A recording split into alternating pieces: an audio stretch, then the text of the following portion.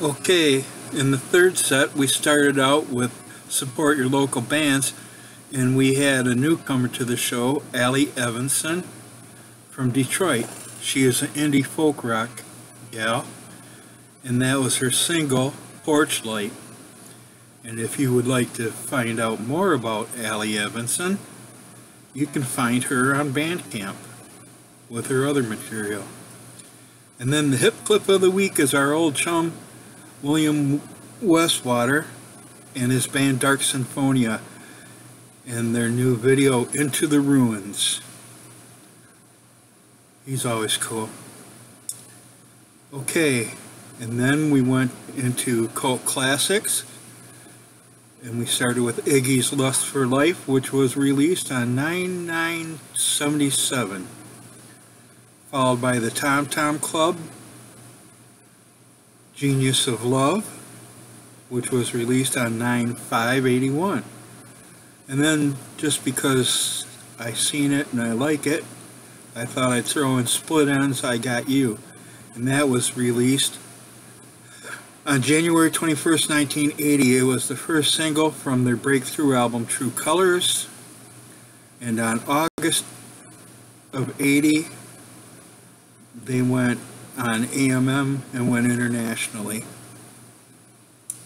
Then we had Adam and the Ants, Prince Charming, self-title, from 9-3-81 was its release.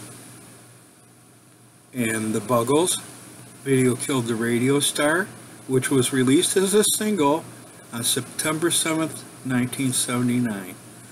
And Adam Ant and the Buggles are going out to Five Day Girlfriend because I know she likes them. Alright, then we had the Buzzcocks Ever Fallen in Love.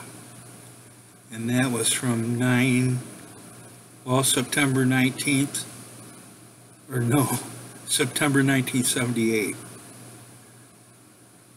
And it was released as a single as well.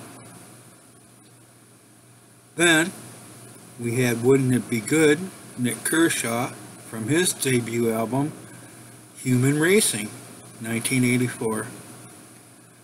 Then, if you're a,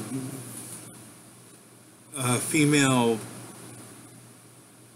Facebook friend of mine, more than likely over the years, you have received a video on your birthday of the Altered Images Happy Birthday. Well, this is Altered Images, I Could Be Happy, their first single from their second LP, Pinky Blue.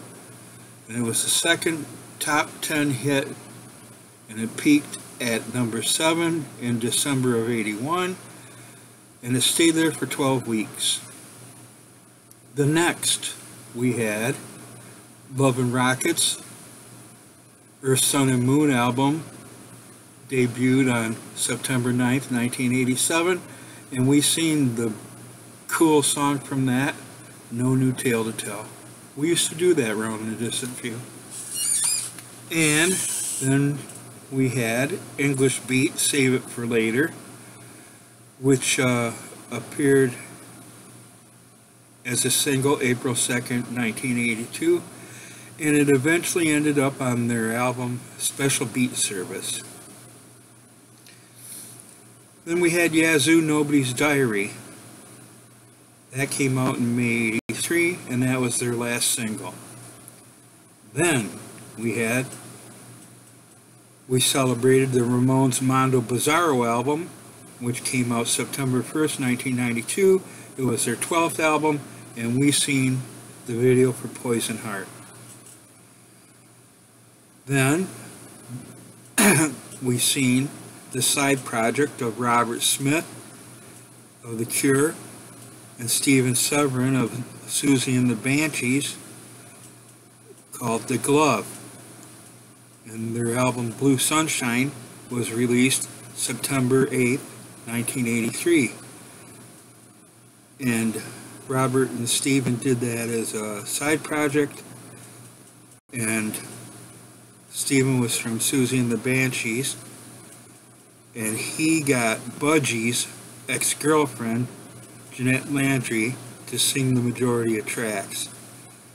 And Robert brought in Andy Anderson on drums, after he had just joined The Cure. So, and that was uh,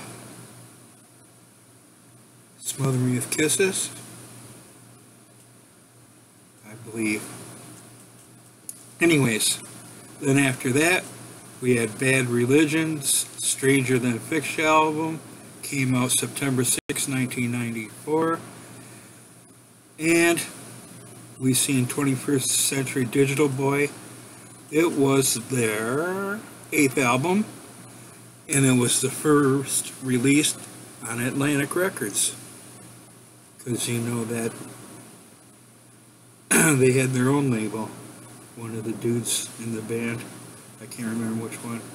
Then last but not least, Stabbing Westward. What do I have to do?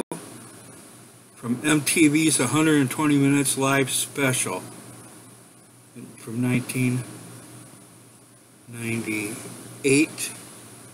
That song was on their Wither, Blister, Burn, and Peel album that came out in 95. And that concludes this week's show. I hope you enjoyed it, and I'll see you next week on the alternative 120 minutes.